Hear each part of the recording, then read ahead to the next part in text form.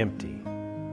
It's a word that often speaks of conditions in our lives that aren't good, times when things are missing, voids in our lives that need to be filled. However, during April, the month of Easter, as we look at the book of Matthew, we will discover that empty is the most beautiful word in the world.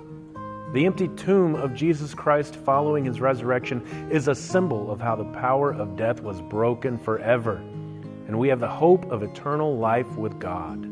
All of us have a tendency to want to fill emptiness in our lives with things, with the pursuit of the good life, with lots of possessions, money, or status.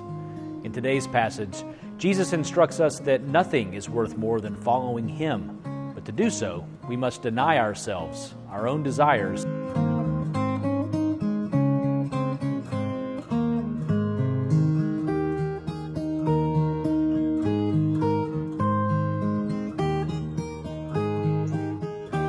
Take up our cross. By losing our lives in this way, we will find true life.